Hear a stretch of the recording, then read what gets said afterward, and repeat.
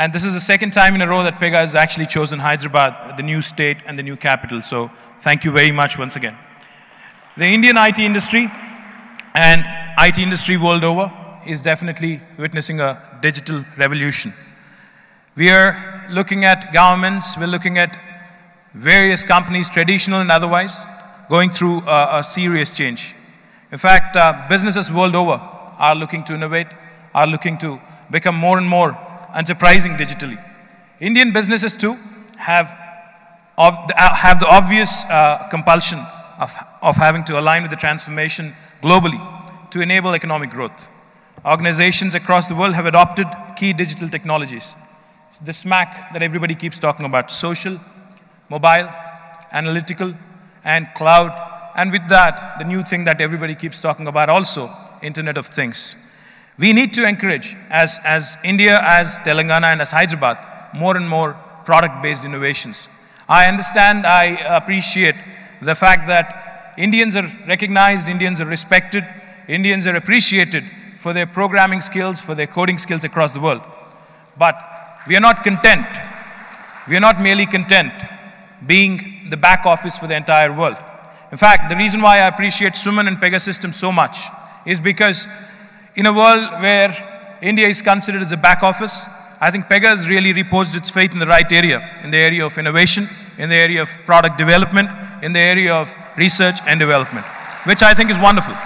Because while we are respected, while we are appreciated for our programming brilliance, I think Indians also have entrepreneurial capabilities which ought to be brought to the fore.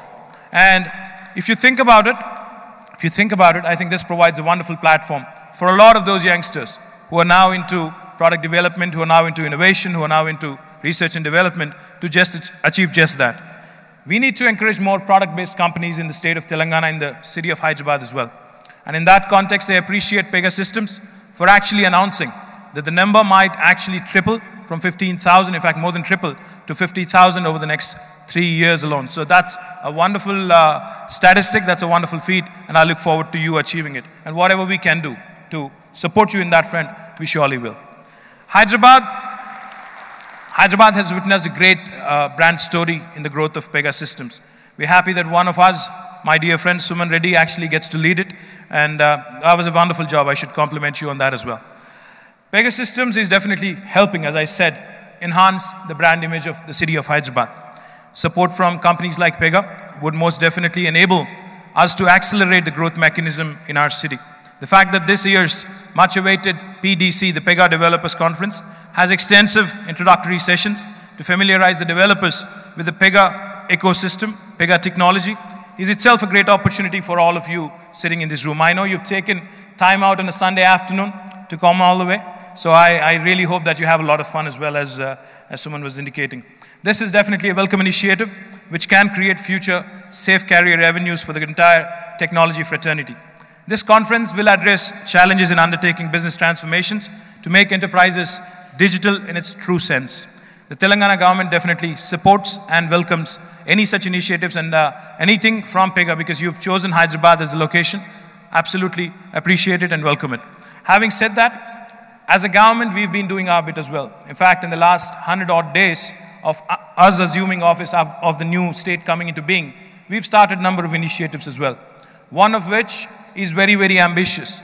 The one initiative that we've been uh, talking to a lot of people about, involving a lot of companies all over the world, is something called T-Hub, the technology hub, an incubator of incubators, which in the next five years is set to incubate more than 5,000 companies, is, is going to create more and more entrepreneurs from the city of Hyderabad.